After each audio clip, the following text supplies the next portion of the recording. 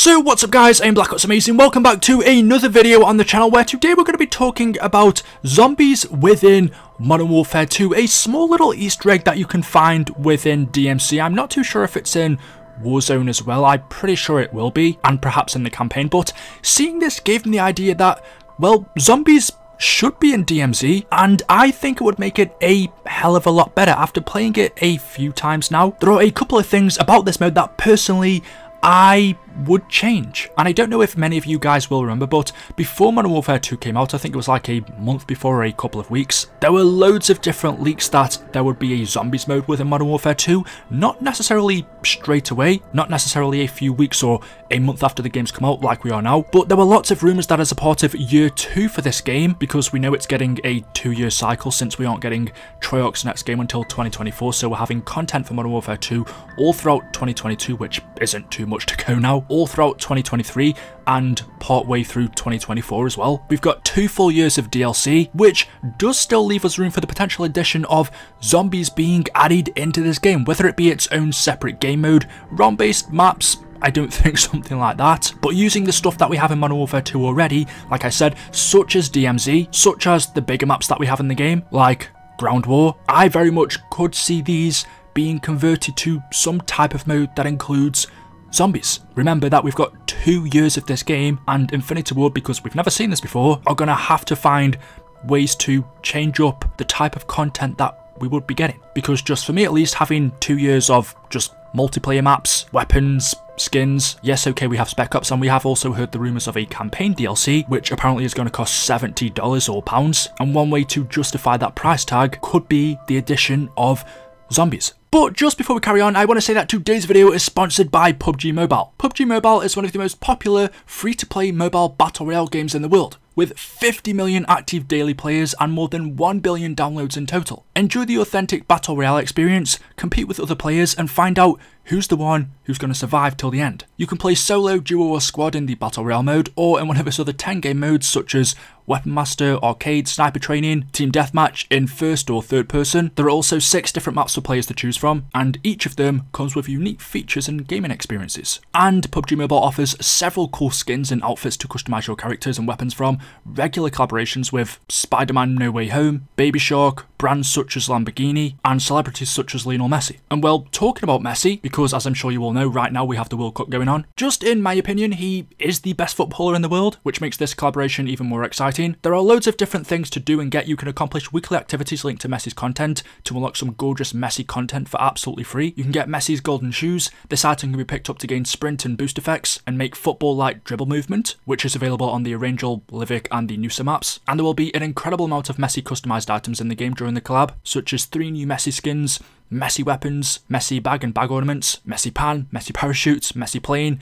and more. And finally, in celebration for the 2022 World Cup, there is an exciting football themed festival which is the Global Chicken Cup Update, which includes loads of football themed fun, such as a football car which is a new single player vehicle, a football theme park which is a new themed area, a portable football which is a new throwable item like a grenade, and much more. So there is so much here. PUBG Mobile is a massive game. This is something everybody should be checking out with the newest collaboration with Messi and the Global Chicken Cup update. You can go ahead and download it for free right now just by clicking the link down in the description. So make sure you do that because there's so much content here and it's super fun. So there we go. Thank you to PUBG Mobile for sponsoring today's video and let's get back into it. Anyway, as I was saying before I continue on with that tangent I went on, there is a sort of Easter egg for zombies within Modern Warfare 2. Now, I personally believe that this is just a placeholder, an asset that's simply been reused from an older game. I don't think there's a deeper meaning behind it necessarily, but you can find a reference to one of Infinity Ward's old zombies maps from Infinite Warfare Zombies within this comic. Now, like I said, this is on DMZ. If it's on Warzone, I don't know. I don't really play it. It probably is somewhere, and maybe on some multiplayer maps as well, maybe in the campaign, who knows. But just looking at it, if you know Infinite Warfare Zombies Attack of the Radioactive thing,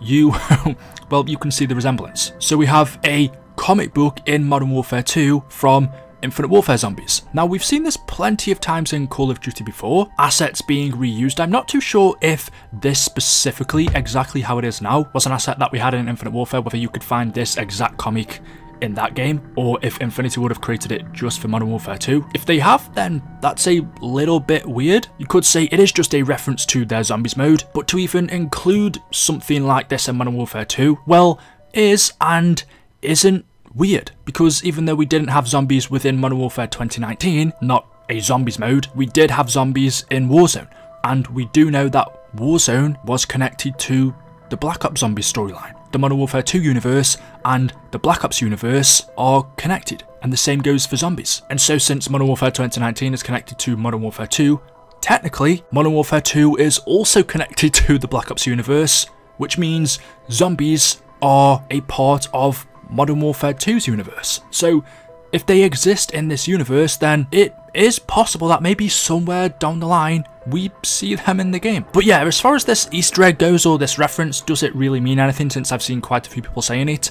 No, I don't think so. I do think either it's just a cool Easter egg or a reuse of assets that Infinity Ward didn't think about. This to me doesn't mean that zombies is coming to Modern Warfare 2, but as I said in the beginning of the video, if you take your minds back to a few weeks before this game came out, there were leaks that there would be a round-based zombies mode and outbreak within this game. We saw images of different modes that would be in Modern Warfare 2, and a couple of those modes were round-based zombies and Outbreak. Now straight away then I even said I don't think round-based zombies is coming to this game and I still don't. And as far as Outbreak goes, I definitely think that's more of a possibility since Outbreak on Black Ops Cold War used the fire team maps and the closest thing we have to that in Modern Warfare 2 are the ground war maps. So I could see that working out using the ground war maps for Outbreak. And also, even though I don't know game design, I can't see that being too difficult to do. If you remember how quickly Treyarch pushed out the Outbreak maps compared to the round-based zombies maps, I'd imagine it wouldn't be too different for this game. At this current moment in time, I don't think that's going to happen, but perhaps as a part of Year 2 in 2023 and 2024, I do think it's a possibility. When we get that campaign DLC and Infinity Ward and Activision want to charge people $70, £70 to access it. According to the leaks, it will be about a 5 hour campaign and all of the original Modern Warfare 2 maps remade, so High Rise, Quarry, Rust, everything that we saw in the 2009 version. Personally, does all of that content justify paying the price of a full game, $70? No. I'd imagine there'd also be some Spec Ops content thrown in there as well, but still to me, just because it's not a new game, it's DLC, I wouldn't want to pay $70 for that. But if you then included zombies, say Outbreak, maybe then it would be worth it. But even without all of that, I was thinking because I've been playing a couple of games of DMZ, I didn't play it when it came out because it didn't really interest me. Playing against bots in multiplayer is something I've just never liked. For solo games, for campaigns, that's fine when you've got a story to follow along, but I've never really liked playing against bots in online games. I prefer going against real players. But zombies has always been a bit different because yes, even though they are technically bots, it just doesn't feel the same as killing regular enemy AI that look like you. And still now, even having played a couple of games of DMZ, I'll be honest, I don't 100% get it. I mean, I do. It's a mode to really just rank up your weapons, unlock things, but I just don't really get any fulfillment out of it since I am playing against bots and not actual real players. It doesn't really give me satisfaction, but compared to a zombies mode, that's something I do find fun. And when I was playing this, I was thinking, well, how difficult would it be to replace the enemy AI with zombies? I don't think it would be very hard. And I think that'd make it a hell of a lot more fun. Or even having zombies in it alongside the enemy AI. It's definitely possible. Zombies in this universe is possible. We had zombies in the original Warzone, so there's absolutely no reason why we can't have them in this game. Maybe it's more wishful thinking because I think it'd make this game mode a hell of a lot better. To me right now, it's um, just not something I get satisfaction from. Going in, doing missions against AI and then exfilling. After one or two times, I'm left asking myself, well, what's the point of this? I'm not getting anything from it. But I do think zombies would make it a lot more fun. So let me know your thoughts in the comment section below. As always, hopefully you've enjoyed this video today. I just wanted to see what you guys would think about this. Drop a like rating if you've enjoyed. Make sure you are subscribed to stay up to date with the latest videos on the channel. Thank you all for watching and I will see you in the next one. Until then, goodbye.